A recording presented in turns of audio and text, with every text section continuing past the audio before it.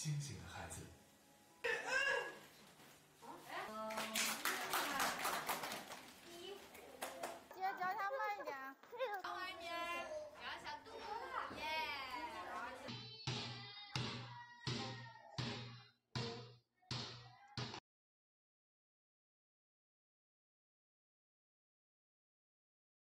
呃，我们现在大概有四十多个老师，每天呢大概有一百个左右的小朋友会来这里上课。早期的时候基本上都是家长和呃老师们，但是后来呢，其实会有一些志愿者定期做一些志愿志愿者的活动。在这个过程当中，我们孩子跟他们。